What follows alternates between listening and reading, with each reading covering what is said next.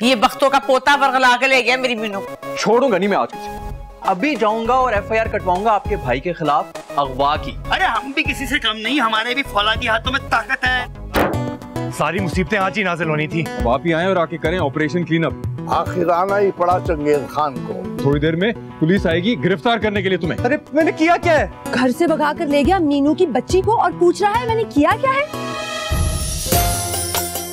चुपके चुपके पीर से इतवार शब नौ बजे। हम और आप हर पल साथ।